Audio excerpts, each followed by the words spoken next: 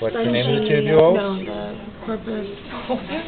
Now, the qu- uh, body is in the penis. Oh, Name the tubules? The- Seminiferous tubules. okay. All of the tubules, are a lot that manufacture all of the sperm, they drain into the, what do we call this, the tube, the, the coiled area in the middle? The rete testes, which drains into the epididymis, the coiled tube that then runs all the way around the outside to the tail of the epididymis, right? That then sends its stuff out. Oh, I had you split right through the middle of it, didn't I?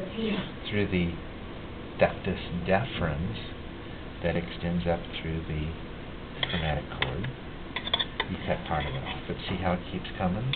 Here's our ductus deferens or vas deferens heading up through here until it exits. And so you saw all of this muscle. What's this muscle called? Oh, the center of the C. Cremaster. The cremaster muscle with the coating and on the outside is the okay, this layer.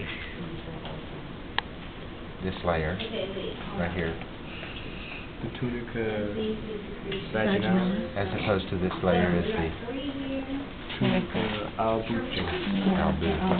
albuginea. Sorry, okay. Yeah, we pretty much got everything. The, the She did cavern is, perfect. as this begins to go its way up.